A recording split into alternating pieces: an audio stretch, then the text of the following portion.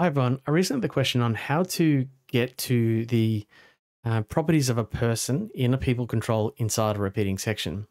So the first thing you need to do is set up a form in your start event and then put a repeating section on and then a people control inside it. So it's pretty straightforward.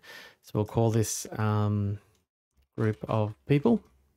No, that'll be too confusing. Let's say it's tasks or um, what should we call that? Um, rows. We'll just call it rows for the moment. That'll make it simple. So it's just rows of data and it's got a people control. We'll call this uh, task owner. And we might just put a bit of styling on there, put a divider line and call this uh, rows. So now you can see I've got repeating section with the uh, people control inside it.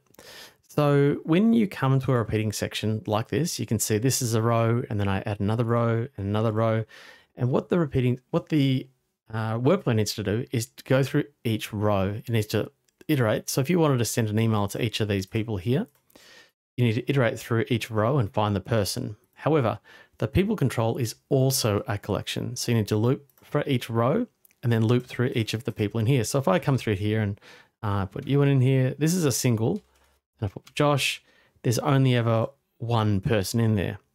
Uh, however, if I turn that on to multiple, so multiple selections, go to preview, I can have multiple, and that is now a collection. Now, the trick here is um, it doesn't matter if I had single or multiple, it's still going to pass a collection regardless. So we always need to loop through the rows and then loop through the people. Okay, so let's do some heavy lifting with our workflow. So what you'll notice when you come from the form to the workflow designer is you've got your start event and form variables are the data that came from the form. So we've got rows, which is our repeating section, which is a collection. Then you've got your task owner, which is a collection of people, single, multiple, it's always a collection. And then they've got the properties you want to access.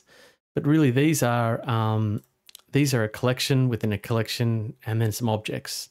So first thing we need to do is loop through each row first. So we put a loop for each in, and we're going to call this um, in repeating section. And what we need to do is tell it what target collection we're going to. So go to insert, uh, start event, form variables, rows, which is putting our repeating section in there basically. Now it's going to loop through each of the rows. And the next thing we need to do is loop through um, each person in the people control. So again, loop for each. Now it's a little bit different this time. You wouldn't go to start event, form variables, rows, task owner because it is a collection of collections. So what you actually want is the output of the loop for each. So what we've got here is it's really telling us as I'm looping through each of the rows, give me the current row you've got and let me select the current people picker, which again is a collection. So then we insert the people control into the loop for each. Now we've got the second loop done. Now what we're dealing with is a object. So we'll come down to here. So the output of this, let's say I wanted to send the person that's in the people picker in, in all of the rows or each row, uh, an email address, an email. So I need their email address. So I go to insert and then you come back to loop for each because that's where your outputs of your loops are. And I didn't rename the second loop. So let's go back and just make this a bit easier to read. Loop for each in people control. Okay, come back to here and go insert. So loop for each. Oh, did I change its name? It would be me being silly. Uh, in people control. There we go. Okay. Send an email, click insert and loop for each. And now you'll see loop for each in people control or loop for each in repeating section. Now we actually need to go to the to the people control because that's where we're, we're really interested we go to the current item, which is the current person that's found. So if you had five people in the people control, it's going to go one, two, three, four, five. And then finally, all these properties are showing up. So they're no longer a collection of collections of objects. It's now the current one it's found of people inside the current row. So we can actually access these properties. So now we can press insert and we can send an email.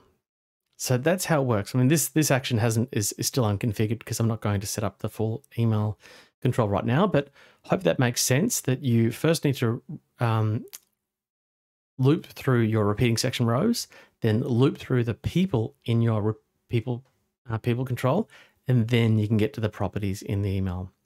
So I hope you find that useful. Let me know in the comments. Cheers.